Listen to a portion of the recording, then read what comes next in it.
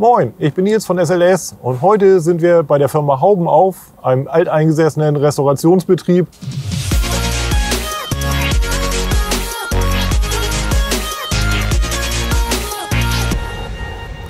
Ja, bei einem unserer Probefahrten hat sich unser 380er leider so einen Steinschlag zugezogen.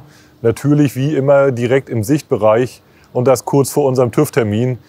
Das heißt, heute steht der Scheibentausch an. Deswegen sind wir hier im Fachbetrieb und die machen das für uns. Ja, da ist das gute Stück. Den Steinschlag hast du schon gesehen, ne? Ja, das sieht nicht so gut aus. Tragisch, nützt nichts.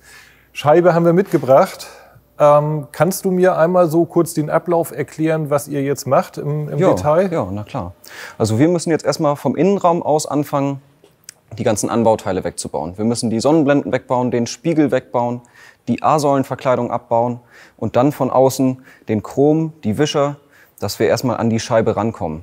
Dann schneiden wir die Scheibe raus, entfernen die alten Klebereste, gucken, dass da keine Beschädigungen sind am, am Metall, keine Beschädigungen sind am Lack, bessern die notfalls aus und dann wird die neue Scheibe angeklebt.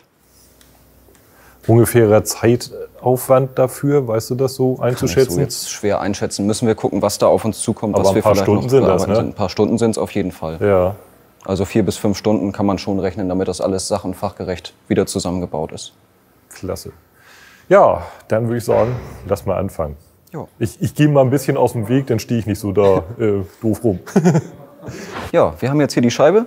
Das erste, was wir machen, ist, dass wir die Scheibe einmal von innen und außen putzen und prüfen, ob irgendwo kleine Risse, kleine Kratzer auf der Scheibe sind, die vielleicht beim Transport zustande gekommen sind. Weil wenn man die jetzt einbaut und hinterher feststellt, oh, jetzt habe ich im Sichtbereich zwar keinen Steinschlag mehr, aber einen Riss, das wäre ärgerlich. Ja, ich mache das Ganze mit Dimitri zusammen. Dimitri hat das schon öfter gemacht beim 107er und der wird sich dem Ganzen heute widmen.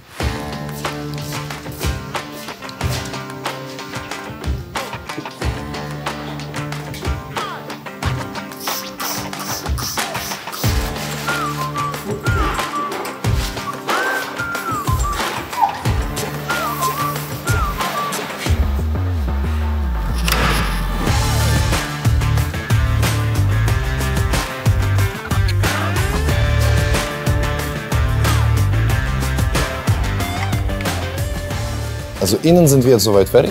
Und jetzt kommt der trickige Teil mit den versteckten Schrauben.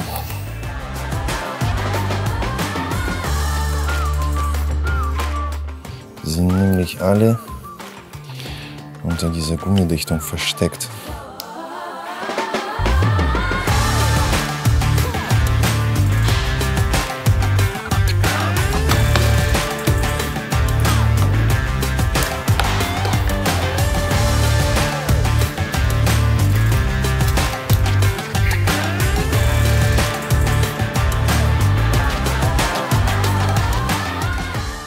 Da, wo die Scheibe jetzt gerade rausgeschnitten ist, kann man feststellen, ob die Scheibe noch auf die alte Art eingeklebt wurde, sprich mit einem Kupferdraht, was man erhitzen kann zum Ein- und Ausbauerleichterung, oder auf die neue Art, wo es einfach schon direkt verklebt ist.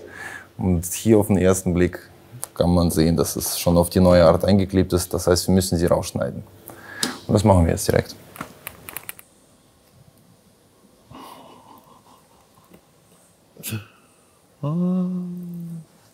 Nee, das ist was anderes. Die haben hier was anderes verwendet. Ähm, ja, das ist. Da ist kein Kupferdraht drin. Da ist aber auch kein Scheibenkleber, sondern Scheibendichtmasse. Weil ich kann normalerweise, wenn die Scheibe eingeklebt ist, kann ich durch den Kleber nicht mit einem Schraubenzieher einfach reinpieksen und komplett durchgehen. In diesem Fall kann ich aber. Das heißt, die gesamte Scheibe konnte man immer reindrücken. Also vom Wind wurde sie auch permanent immer reingedrückt und hat sich immer weiter dann reingesetzt. Schön. Also ich muss ehrlich sagen, bin mir nicht sicher, ob das auch mit Rausschneiden funktionieren will, weil der Kleber, das ist ja eine, so eine Art Dichtmasse, die verschließt sich sofort wieder. Wenn man das einmal durchgeschnitten hat, wird sie wieder haften. Also normalerweise kann ich Scheibenkleber nicht so abtun.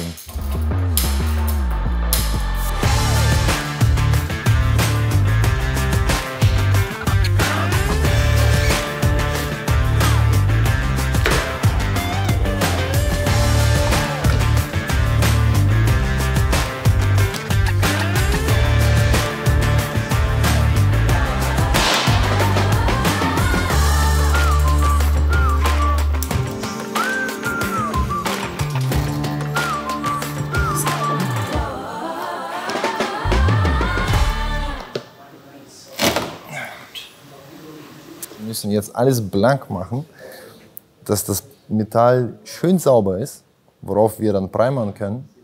Also nicht Metall, sondern der Lack, schön sauber. Dann primern wir das und tragen Scheibenkleber auf. Und das alles darf überhaupt nicht dazwischen sein.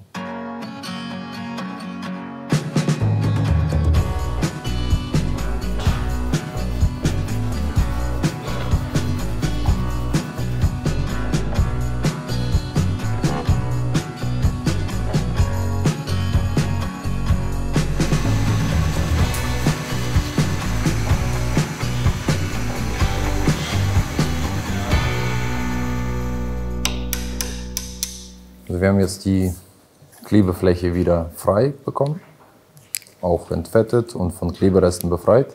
Der nächste Schritt ist, dass wir Primer auftragen. Das ist so eine Art Haftvermittler, damit der Scheibenkleber viel besser auf der Oberfläche haftet.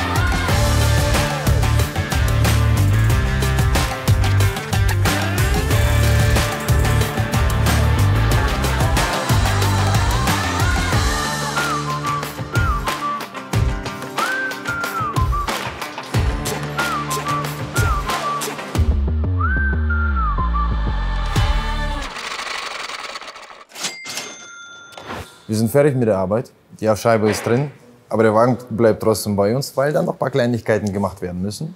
Das war's für heute. Ciao. Das hier sind die alten Stabilager. Das Auto irgendwie einseitig begrenzt hat. Wir konnten uns das auch noch nicht so ganz erklären.